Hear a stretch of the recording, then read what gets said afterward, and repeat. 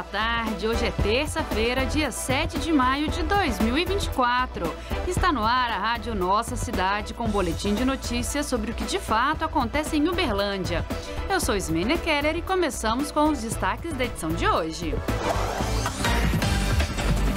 Rádio Nossa Cidade. Banda Municipal faz homenagem às mães na noite de hoje. Prefeitura recebe a visita da equipe do Hospital Beneficência Portuguesa. Essa e outras notícias a partir de agora na rádio Nossa Cidade. Vem com a gente.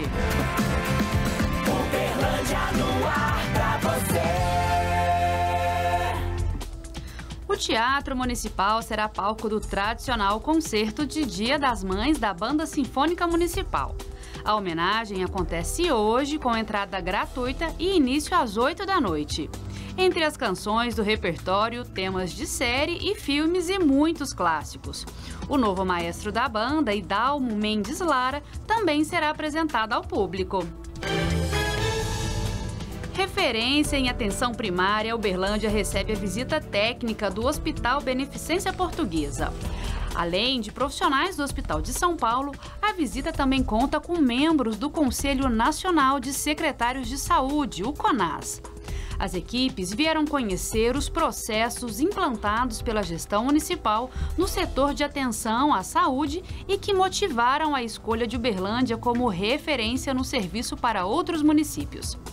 Dentre as atividades, os visitantes conheceram a UBSF Shopping Park, onde são desenvolvidos os processos de padronização do atendimento em atenção primária. A visitação segue nesta terça-feira. Desde 2017, a Prefeitura de Uberlândia desenvolve a padronização dos serviços de saúde. As boas práticas implementadas aqui chamaram a atenção do CONAS e em 2019 a cidade se tornou um centro colaborador para estímulo e apoio a pesquisas no setor.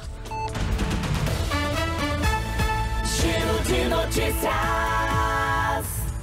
E acontece nesta quinta-feira, dia 9, a primeira audiência pública do novo plano diretor.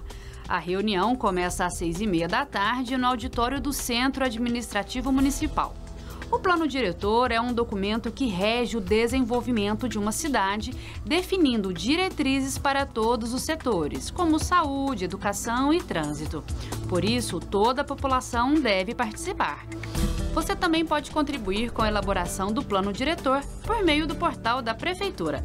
Acesse o formulário online na página da Secretaria Municipal de Planejamento Urbano. A Prefeitura de Uberlândia está promovendo a 11ª edição da Campanha do Agasalho. Realizada em parceria com a emissora Band Triângulo, o objetivo é reforçar o apoio à população em situação de vulnerabilidade social. A arrecadação segue até o dia 24 de maio, com pontos de coleta no Centro Administrativo Municipal, no Terminal Central e em outros cinco locais da cidade. Acesse o portal da Prefeitura e conheça todos os endereços para a doação de agasalhos. Giro de notícias. A edição de hoje fica por aqui. Obrigada pela sua audiência. Edição Daniela Aires, tradução em Libras Amanda Valentim, responsável técnico Cristiano Silva, secretário municipal de Governo e Comunicação Marco Túlio de Castro Kalimann, Prefeitura de Uberlândia, fazer mais, fazer bem. Fica por aqui mais uma edição do programa da Rádio Nossa Cidade. Continue conosco no portal da Prefeitura e nas redes sociais.